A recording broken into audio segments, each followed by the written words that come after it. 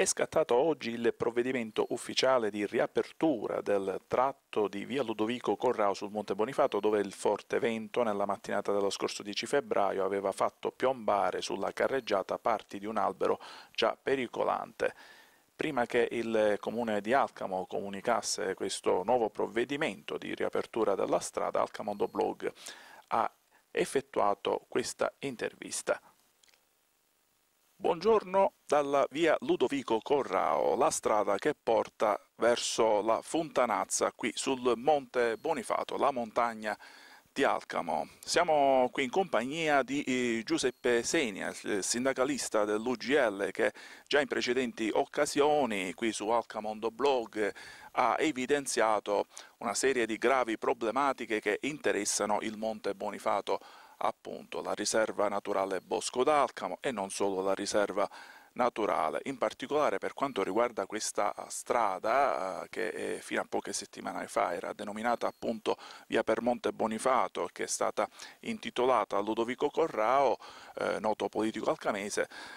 Adesso eh, vediamo intanto che è, stato posizionato, è stata posizionata questa uh, transenna con tanto di cartelli segnaletici eh, per eh, interdire il transito Uh, tranne che eh, per quanto riguarda mezzi delle forze dell'ordine, di emergenza, di soccorso e residenti. Ma questa comunque non è una novità di oggi perché già eh, come eh, pubblicato nelle scorse settimane a seguito della caduta di eh, un albero avvenuta lo scorso 10 febbraio e vi mostro più da vicino la zona, il tratto della strada su cui era eh, crollato quest'albero e si notano eh, in quel tratto anche eh, parti di costone piuttosto pericolanti.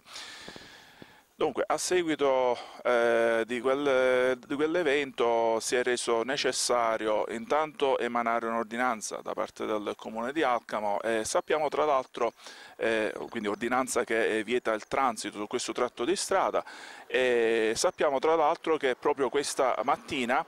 si è tenuto qui un eh, sopralluogo eh, da parte intanto oh, della uh, Polizia Municipale, della Protezione Civile, se non vado errato, uh, è stato lo stesso comandante Ignazio Bacile a confermarmi che c'è stato effettivamente un sopralluogo eh, poche ore fa e che eh, si sta adesso valutando il da farsi o comunque ci sarà comunicato ufficialmente il provvedimento che è, è stato già preso, che comunque si sta eh, prendendo. Ma andiamo oh, al dunque, nel senso che vogliamo eh, capire mediante anche Giuseppe Senia quali sono eh, le eh, azioni che ehm, sul piano sindacale eh, si stanno intraprendendo in queste ore, alla luce intanto del fatto che qui è stato appena effettuato un sopralluogo e questa è certamente una uh, relativamente buona notizia, dico relativamente perché qui occorre oltre che fare i sopralluoghi effettivamente intervenire con urgenza per la messa in sicurezza. Che cosa ci può dire Giuseppe Senia? Intanto io ho dovuto fare questa doverosa premessa per rendere più chiare le idee a chi ci ascolta. Grazie, ascoltiamo Giuseppe Senia, buongiorno. Buongiorno a voi di Alcamo Blog, io ringrazio sempre il dottor Massimo Provenza di darmi spazio per poter dire la mia. Intanto prendo atto anche da ieri da alcune testate giornalistiche che qualcosa si sta muovendo in merito ai sopralluoghi che ci ha appena citato il dottore Provenza. Eh, la questione rimane sempre la stessa, una mediocre eh, azione per rendere vivibile la montagna in questi anni della ex provincia. Eh, I nostri, come sindacato che possiamo fare, abbiamo invitato più volte nei tavoli per parlare, per poter risolvere il problema, per iniziare a risolvere il problema. Ci ritroviamo con una barriera davanti dove c'è messo, eccetto forze dell'ordine di emergenza, di soccorso e residenti. Io vorrei capire eh, l'ho letto in alcune testate giornalistiche ieri che sono stati i vigili urbani di Alcamo a chiudere questa strada, ma non vedo nessun timbro, nessuna sigla, nessuna firma in un cartello che io stesso lo potrei mettere. Comunque, non voglio fare polemica. Probabilmente, eh, scusa Giuseppe, eh, chi di dovere si sta adoperando, attrezzando per eh, rendere, eh, insomma, per migliorare appunto questo servizio segnaletico um, in base alle eh, regole che devono essere seguite al riguardo, almeno voglio pensare questo. Comunque eh, è opportuno segnalare anche questo perché effettivamente è giusto che chi passa da qui sia messo a corrente che è proprio è ufficiale che qui insomma, bisogna stare molto attenti e non si può transitare a meno che non sia autorizzati. Ecco, prego. Niente, io lasciando stare questa piccola chicca che ho detto del cartello è semplice, non so più cosa fare. Ho indotto più di una volta il tavolo, ho invitato più di una volta a parlare i, le varie figure, i vari attori che sono eh, responsabili di questa montagna nel cercare una soluzione che per me è semplice, è ritornare alle origini, ritornare a quell'azienda dove tanti anni fa era stata capace di fare questa RNO, questa, questo monte, dargli un aspetto, una, dargli una dignità, quella che oggi non c'è più, e eh, evitare di mettere, ecco, di chiudere le strade, perché eh, un accesso che viene chiuso è la cosa più semplice che si può fare per non, per non fare lavori. Cioè, noi andiamo a, a segnalare che c'è una problematica, che c'è da mettere in sicurezza la montagna, che c'è da fare de, determinate eh, tipologie di lavoro per renderla migliore e vivibile al popolo alcamese, cosa ci ritroviamo? Ci ritroviamo semplicemente un cartellone dove ci chiudono la strada e poi incominciano con le varie sopralluoghi, incominciano con le varie cose. La realtà è un'altra cosa, bisogna sedersi al tavolo, cari miei amici politici, e risolvete la questione dalla radice. La questione è semplice da risolvere, basta trovare un punto di incontro e ridare la, ridare la gestione a chi ha le facoltà di poterla gestire. Quindi il dirigente che, che, manca da 15 anni non è un dirigente questa RNO, quindi ridare un dirigente che ha più di 15 anni che manca. Fare dei progetti che la riportano a essere un RNO e metterla in sicurezza in tutte le sue parti, sia come viabilità, sia anche come bosco, sia anche come area attrezzata, sia anche il parco avventura che abbiamo sempre montato lassù, che è lasciato così. Chiudere una strada, chiudere la montagna, secondo me non è la cosa più giusta. La cosa più giusta è renderla vivibile e renderla eh, in sicurezza, quello che non viene fatto attualmente. Sono punti tematici su cui si è incentrata l'attenzione di Giuseppe Senia già in precedenti interviste nelle scorse settimane e non eh, dobbiamo dimenticare tra l'altro che Monte Bonifato è interessato da gravi fenomeni di rischio di dissesto idrogeologico come già testimoniato dalla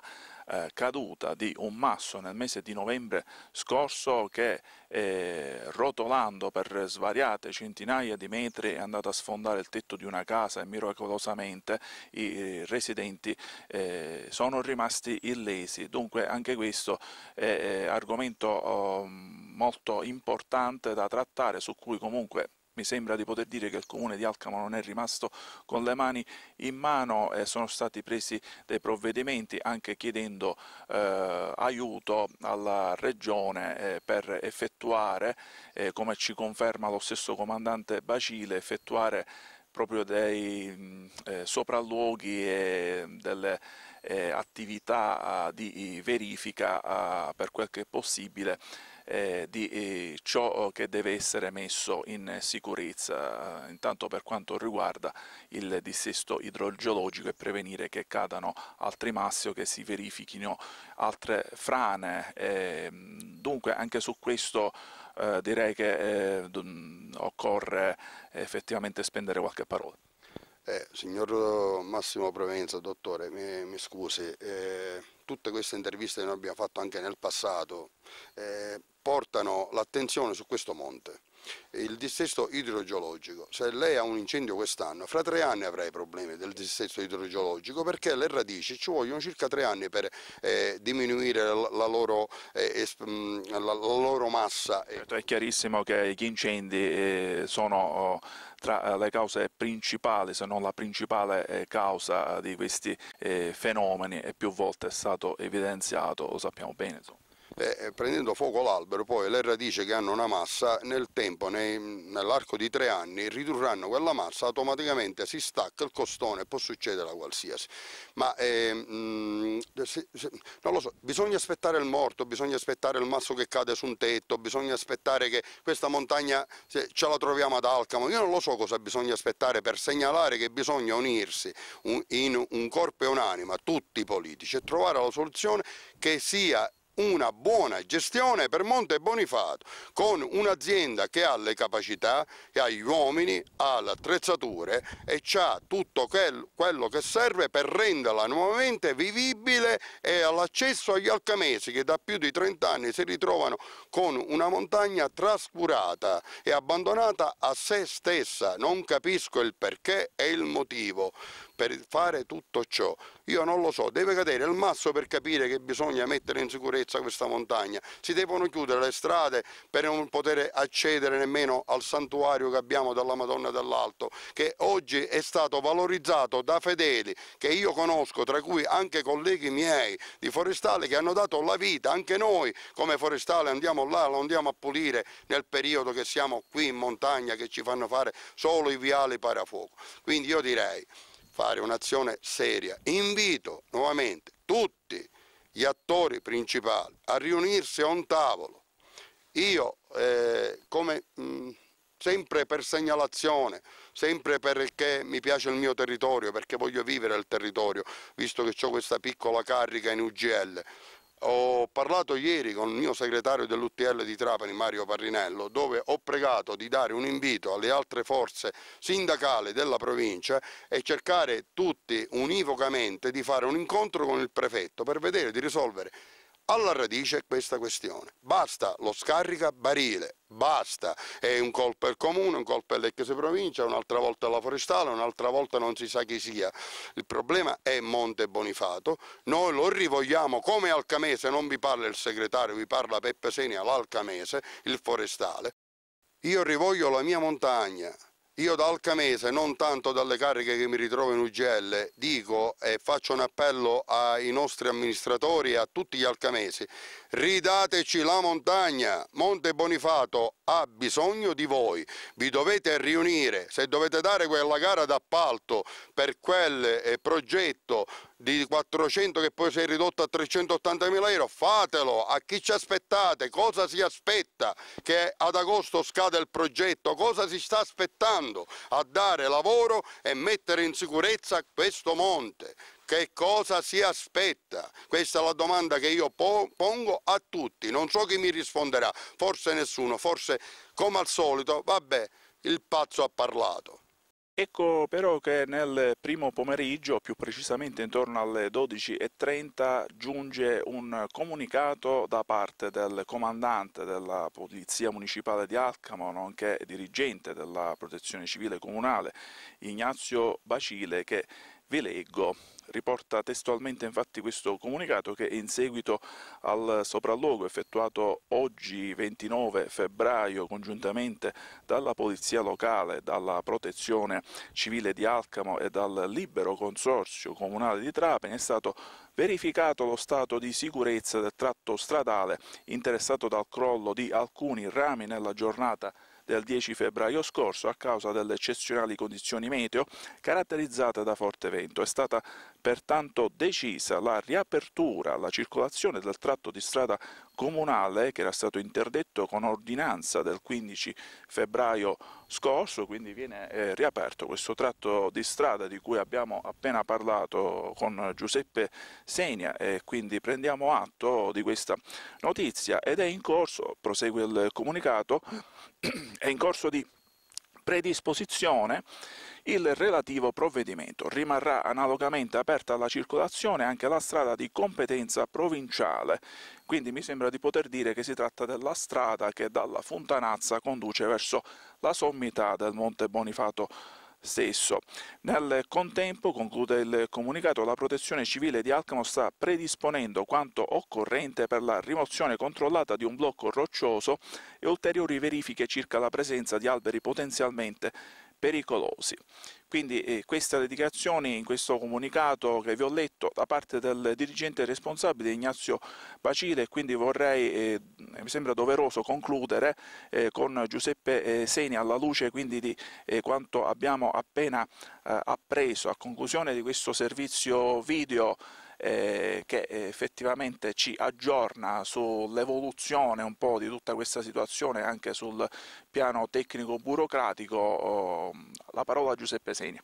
Io ringrazio il comandante, ringrazio le forze dell'ordine intervenute, ringrazio la protezione civile che metterà nuovamente eh, in sesto la strada ed essere sicura per tutti noi che la percorriamo anche per raggiungere la vetta che dove c'è il nostro santuario della Madonna dell'Alto, quindi ringrazio tutte le forze che si sono messe in atto per questa situazione, ma rimane sempre la stessa questione. Ci mettiamo un tavolo e per una volta e per sempre rendiamo giustizia a Monte Bonifato, all'NO Bosco d'Alcamo. Io questo rimango sempre nell'invito di invitare tutti, nel ragionare tutti nello stesso senso per arrivare all'obiettivo rendere Monte Bonifato come era nel 1990. E allora ringraziamo oh, Giuseppe Senia, doverose quindi le precisazioni e gli aggiornamenti eh, che sono contenuti nel comunicato oh, che vi ho appena letto e soprattutto direi che